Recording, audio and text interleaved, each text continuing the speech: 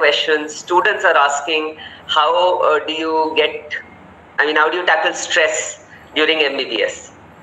So, what are your tips, Ranjan sir? How do you tackle stress in life? Well, guys, tackling stress in life, uh, I I am I'm an enthusiast. Right, I love to work out a lot, and believe me, uh, in a day, 24 hours we have in a day, right? So uh, the, those one or one and a half hours I always look forward to is the workout time, and the amount of endorphins which are released in those one and a one and a half hours is uh, enormous, guys. Is enormous. I always look forward to it.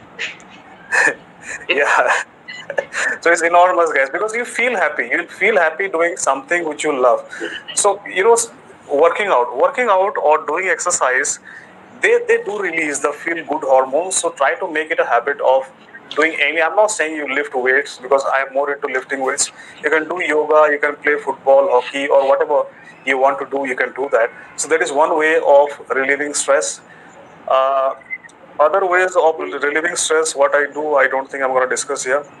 So, Abbas, yes. Uh, well, I think um, stress is a part and parcel of life and for me it's all about optimum stress. Uh, for example if if, if we, we were planning for this session uh, today for for the past few days and it was a little bit stressful for me to you know get back from surgeries and work and then sit down and plan this session and speak to the other teachers and organize this. But if it wasn't for that stress i would have not been doing that. I would have been like jo hoga dekh lenge and i will just wing it and see it. But see using that stress to actually help me or help all of us plan this session has you know made a beautiful outcome like this. So if if if there is stress that is in excess yes you need to find ways to beat it. For me it's just uh, relaxing spending time with kids I used to work out a lot. I mean, you guys might not believe it. I used to work out so so much. It was so much fun. But uh, but by now, I mean, by operating on those difficult cases and reducing those massive fractures, I get my share of workout in the operation. That's enough workout for you. For yeah. what about you, Dr. Rohan? You are an avid cricket player and you know a gymmer. Yes, so I mean, I can't lift uh, as much weights as Ranjan sir uh, does, probably lift half the weights uh, what he does.